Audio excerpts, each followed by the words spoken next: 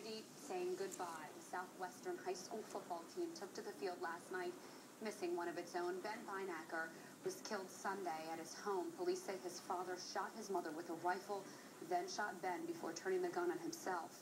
Ben was on the junior varsity team at Southwestern. His fellow players and friends paid tribute to him last night.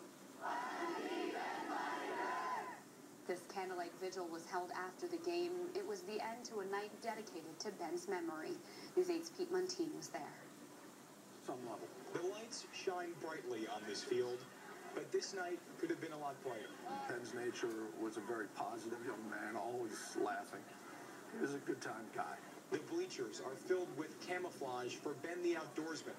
Many are wearing the number 81 for Ben the player. I didn't want to believe it. Nobody wanted to believe it. And right away, though, everyone came together. It hurts, but this is good. This is part of the healing process, and a return to normalcy and a return to routine is uh, is absolutely something that you need to do in this this time. But this night is anything but routine. Walking in from behind the crowd are Ben's teammates. Ben Bynaker touched the lives of many students and teammates during his years in our community. Some are taking it very hard. Some are ready to move on, not forget, but remember fondly.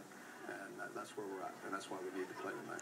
On his behalf, would you all join us in a moment of silence and respect to a fallen Mustang? Thank you.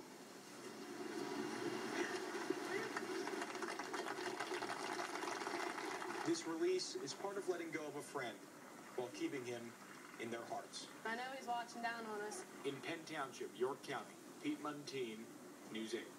T-shirts were on sale to benefit Ben's funeral expenses. Southwestern did win the game last night.